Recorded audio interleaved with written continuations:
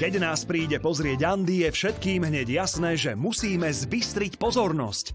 Dozvieme sa, ako správne zaobchádzať s burinou. Postrach záhradkárov pír však nemusí byť vždy na škodu. Andy vie, ako ho správne využiť. Hovorí sa, že múdry nevyhodí vypletu ohavnú bylinu. O čom hovorím? Hovorím o píre. Pír je vraj obrovský postrach všetkých záhradkárov a ja netvrdím, že si ho máte na záhrade pestovať.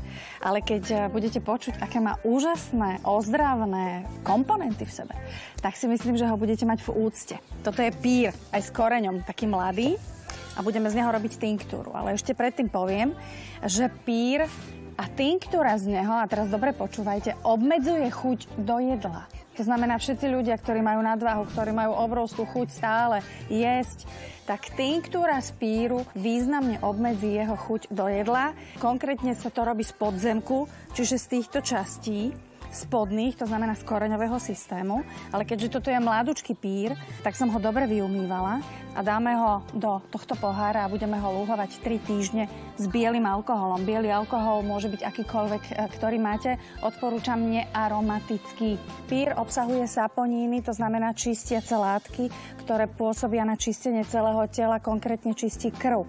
Pôsobí močopudne a má veľmi dobré výsledky u ľudí, ktorí majú močové nejaké kamene, piesok močový v močových cestách a tak ďalej, rozpúšťa a jemne harmonizuje celý ten systém. Používa sa aj vrchná časť, aj spodná časť. Dokonca keď teraz už je obdobie mm, tzv. smoothies, tak pokojne čerstvý pír môžete odrezať a si ho ráno v primeranom množstve dať teda do toho smutička, dobre? Takže dobre umytý pír dáme takto do pohára. Naozaj ho tam napchajte úplne, nebojte sa toho.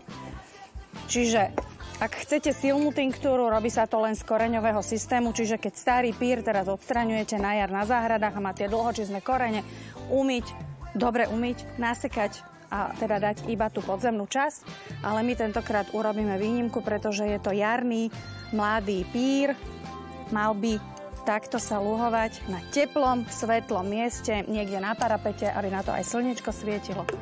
Zakryté 3 týždne, potom zliať. Čo sa týka dávkovania tej tinktúry, je to individuálne, každý si to musí vyskúšať vzhľadom na to, aké má trávenie. Čiže trikrát za deň skúste pred jedlom, potom skúste počas jedla alebo skúste po jedle a uvidíte, ako to najlepšie na vás pôsobí, že kedy tú chuť na to jedlo v podstate strátite, to si overte sami. Takže je to na vás, skúšajte, určite si neublížite.